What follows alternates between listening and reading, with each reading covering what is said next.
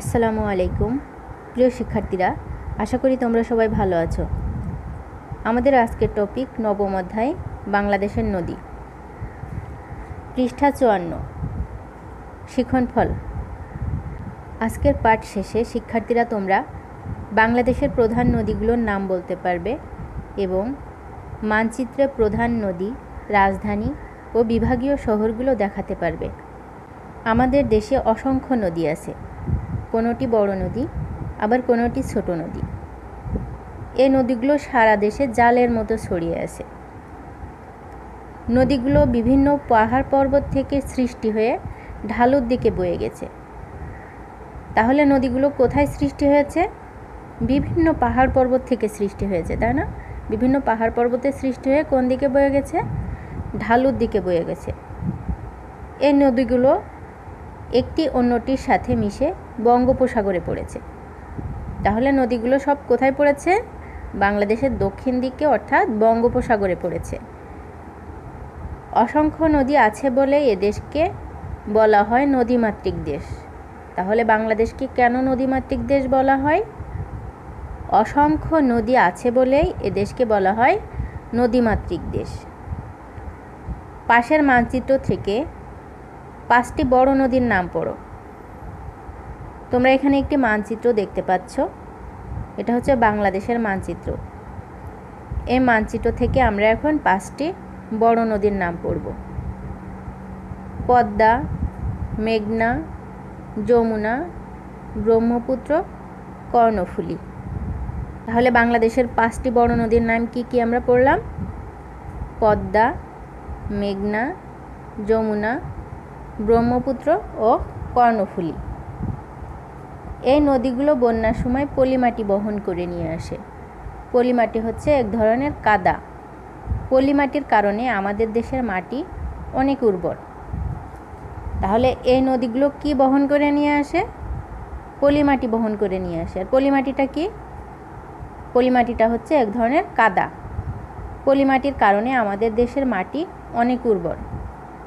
তাহলে আমরা আর কি জানলাম? পলিমাটির কারণে মাটি অনেক উর্বর হয়, তাই না? পলিমাটির কারণে আমাদের দেশের মাটি অনেক উর্বর। তারপর হচ্ছে পানি সম্পদ। বাংলাদেশে যেমন অনেক নদী আছে, তেমনই আছে অসংখ্য খাল, বিল, পুকুর, হাওর ইত্যাদি। এগুলোর মাধ্যমে প্রত্যেক ঋতুতে আমাদের জমিগুলো পানি পেয়ে থাকে। তাহলে প্রত্যেক ঋতুতে আমাদের জমিগুলো কীভাবে পানি পেয়ে থাকে? এই যে অসংখ্য খাল, বিল, পুকুর, নদী, হাওর আছে, এগুলো থেকেই প্রত্যেক ঋতুতে আমাদের জমিগুলো পানি পেয়ে থাকে। কৃষিকাজে জমিতে পানি দেওয়াকে সেচ বলে। তাহলে সেচ কাকে বলে? কৃষিকাজে জমিতে পানি দেওয়াকে সেচ বলে। সবাই বলো তো, সেচ কাকে বলে? কৃষিকাজে জমিতে পানি দেওয়াকে সেচ বলে। আমাদের জলাভূমিতে প্রচুর মাছও পাওয়া যায়। যা আমাদের অন্যতম একটি প্রধান খাবার। দেশের দক্ষিণে সমুদ্র উপকূলে চিংড়ি চাষ হয়। চিংড়ি বিদেশে রপ্তানি করে দেশ অনেক বৈদেশিক মুদ্রা আয় করে। আমরা নদীগুলোকে যাতায়াত ও যোগাযোগের মাধ্যম হিসেবেও ব্যবহার করে থাকি। তাহলে নদীগুলো আর কী কী কাজে ব্যবহার করে? যাতায়াত ও যোগাযোগের মাধ্যম হিসেবে। তাহলে এখান থেকে আমরা কি কি জানলাম? আমরা আর একবার পড়ি। আমরা জানলাম যে আমাদের দেশে অসংখ্য নদী আছে।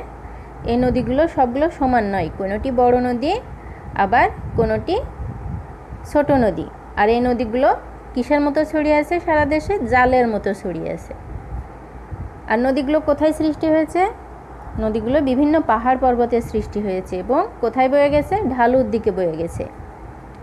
আর এই নদীগুলো একটি অন্যটির সাথে মিশে সবগুলো কোথায় পড়েছে? বঙ্গোপসাগরে পড়েছে। অসংখ্য নদী আছে বলে আমাদের এই দেশকে কি বলা হয়? নদীমাতৃক দেশ। তাহলে আমাদের বাংলাদেশকে কেন নদীমাতৃক দেশ বলা হয়? অসংখ্য নদী আছে বলে আমাদের দেশকে বলা হয় নদীমাতৃক দেশ। তারপর আমরা মানচিত্র থেকে পাঁচটি বড় নদীর নাম জানতে পারলাম। পাঁচটি বড় নদীর নাম কি কি? পদ্মা, যমুনা মেঘনা, ব্রহ্মপুত্র ও কর্ণফুলী। এই নদীগুলো বন্যার সময় কি বহন করে নিয়ে আসে? পলিমাটি বহন করে নিয়ে আসে, তাই না? আর পলিমাটিটা কি? পলিমাটিটা হচ্ছে এক ধরনের কাদা। আর এই পলিমাটির কারণে আমাদের দেশের মাটি অনেক উর্বর। তারপর আমরা পানি সম্পদ সম্পর্কে পড়লাম। এখন আমরা আরেকবার করে দেখব পানি সম্পদ। বাংলাদেশে যেমন অনেক নদী আছে তেমনই আছে অসংখ্য খাল, বিল, পুকুর, হাওর ইত্যাদি, তাই না? নদীর পাশাপাশি তাহলে আর কি কি আছে? আরও অনেকগুলো জলাশয় আছে। জলাশয় কাকে বলে? যেখানে জল থাকে, সেটা হচ্ছে জলাশয়, তাই না? তাহলে আর কি কি জলাশয় আছে? আমাদের দেশে খাল আছে, বিল আছে, পুকুর আছে, হাওর আছে, তাই না? এগুলোর মাধ্যমে প্রত্যেক ঋতুতে আমাদের আরও আমরা কি জানতে পেরেছি? সেচ কাকে বলে? কৃষিকাজে জমিতে পানি দেওয়াকেই সেচ বলে, তাই না?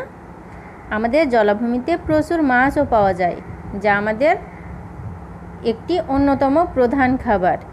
দেশের দক্ষিণে সমুদ্র উপকূলে চিংড়ি কি করা হয়? চাষ করা হয়, তাই না? আর এই চিংড়ি কোথায় রপ্তানি করে? বিদেশে রপ্তানি করে। বিদেশে রপ্তানি করে প্রচুর বৈদেশিক মুদ্রা আয় করে। আমরা নদীগুলোকে আরও কী মাধ্যম হিসেবে ব্যবহার করি? যাতায়াত ও যোগাযোগের মাধ্যম হিসেবে ব্যবহার করে থাকি, তাই না? আমরা পরবর্তী পৃষ্ঠায় চলে যাচ্ছি। এখানে দেখো কি আছে? পঞ্চাশ নম্বর পৃষ্ঠার মানচিত্রটি আবার দেখো এবং উত্তর দাও। এটা কোথায় আছে? ক। কতে এসো বলি। তাহলে এখানে কি করতে হবে? এখানে কিছু প্রশ্ন দেওয়া আছে। আমাদেরকে এগুলোর উত্তর বলতে হবে। প্রথমে কি প্রশ্ন আছে? মানচিত্রে বিভাগীয় শহরগুলোতে বিভিন্ন রং দেওয়া আছে। এই শহরগুলোর নাম কি? এখন তোমরা মানচিত্রটি দেখো। এখানে কি কি রং দেওয়া আছে এবং এই রং দ্বারা কোন কোন শহরকে বোঝানো হয়েছে সেগুলোই আমরা এখন বলব। তাহলে প্রথমে কি বলতে হবে? মানচিত্রে বিভিন্ন রং দিয়ে বিভিন্ন বিভাগীয় শহর চিহ্নিত করা হয়েছে। নিচে শহরগুলোর নাম দেওয়া হলো। তোমরা এভাবে লিখতে পারবে। প্রথমে দেখো, লাল রং দ্বারা ঢাকা শহরকে বোঝানো হয়েছে। তারপর, গোলাপি রঙের মাধ্যমে রাজশাহী শহরকে বোঝানো হয়েছে। হলুদ রঙের মাধ্যমে রংপুর শহরকে বোঝানো হয়েছে। তারপর, গাঢ় সবুজ রঙের দ্বারা সিলেট।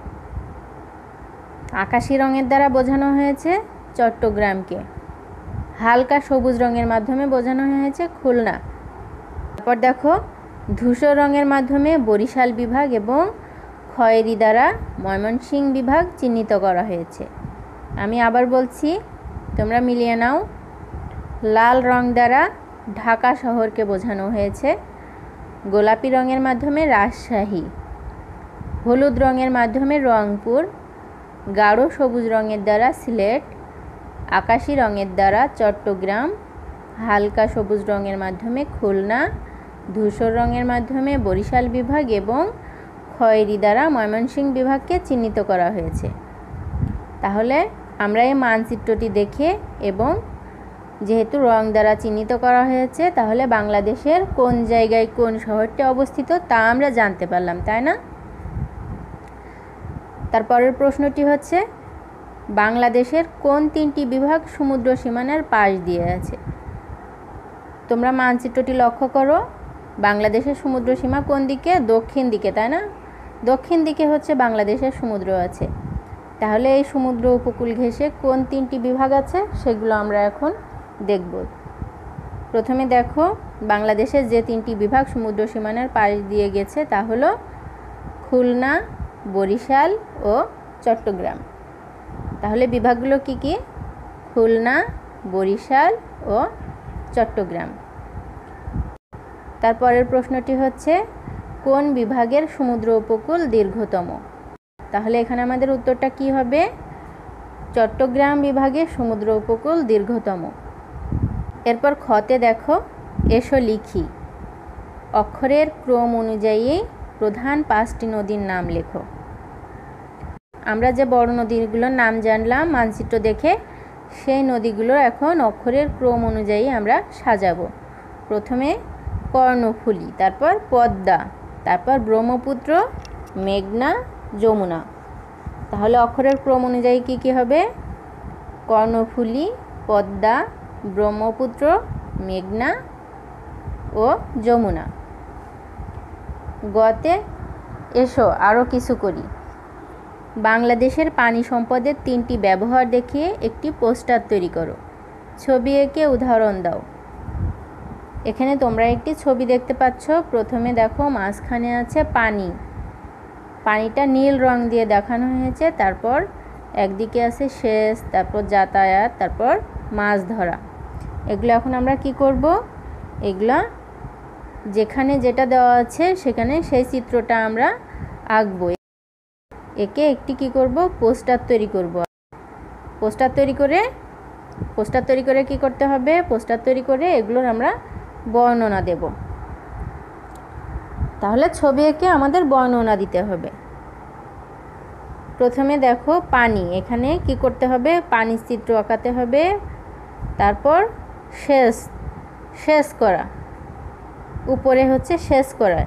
কীভাবে শেষ করা হয়? সেই চিত্রটা এখানে আঁকতে হবে। তারপর এখানে দেখো যাতায়াত। এখানে কীভাবে পানিপথে যাতায়াত করা হয়, সেই চিত্রটা এখানে আঁকতে হবে। তারপর মাছ ধরা, পানিতে কীভাবে মাছ ধরা হয়, সেই মাছ ধরার চিত্রটা এখানে আঁকতে হবে। পানি সম্পদের ব্যবহার কীভাবে করা হয়, সেই চিত্রটা এখানে আঁকতে হবে। তারপর কি করতে হবে? বর্ণনা করতে হবে। তোমরা কীভাবে বর্ণনা করবে? উদাহরণ হিসেবে বলা যায়, কৃষিকাজে জমিতে সেচ দেওয়া হয়। খাল, বিল পুকুর, নদী, হাওরে মাছ ধরা হয়। নদীপথে যাতায়াতের জন্য লঞ্চ, স্টিমার, নৌকা ইত্যাদি যানবাহন ব্যবহার করা হয়। তোমরা এভাবে বর্ণনা করবে। তারপর দেখো, ঘতে আছে, এসো, যাচাই করি। সঠিক উত্তরের পাশে টিক চিহ্ন দাও। নিচের কোনটি পানির উৎস নয়? ক জলাভূমি। খ, পুকুর। গ, জাল। ঘ, নদী। তাহলে কোনটি জল উৎস নয়? এখানে কি হবে বলো তো? এখানে দেখো, প্রথমে আছে জলাভূমি, তারপর পুকুর, তারপর ঘতে আছে নদী। এগুলো সবই হচ্ছে পানির উৎস। তাহলে পানির উৎস নয়, এখানে গ, অর্থাৎ জাল, তাই না? আজকে আমরা যা যা পড়লাম, এগুলোই তোমরা বাসায় প্র্যাকটিস করবে। এবং বইটি ভালো করে পড়বে। আজ এ পর্যন্তই। পরবর্তী ক্লাসে আবার কথা হবে। সে পর্যন্ত সবাই ভালো থেকো। তোমাদের জন্য শুভকামনা।